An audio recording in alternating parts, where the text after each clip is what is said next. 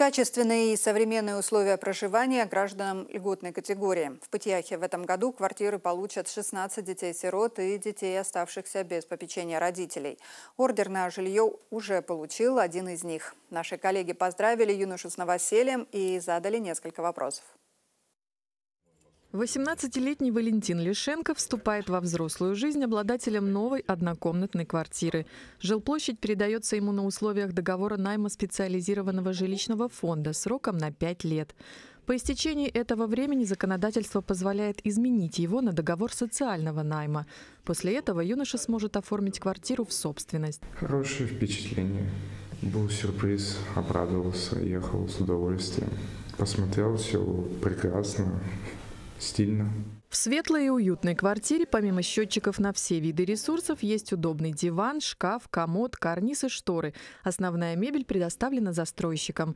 На кухне электроплита, стол и стулья. Совмещенный санузел оборудован необходимой сантехникой. Квартира вообще шикарная, теплая, я прям светлая, мне понравилось очень, я в восторге, если честно. Спасибо администрации, спасибо Комаровой, которая этот э, проект делала, ну и вообще э, город о нас позаботился.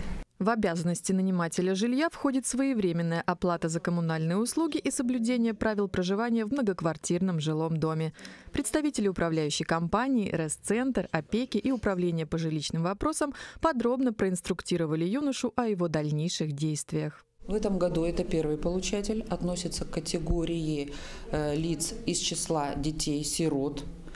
Э, в прошлом году э, таким ли, лицам из данной категории мы предоставили 16 жилых помещений. Также в прошлом году мы купили 15 жилых помещений за лимиты 2023 года.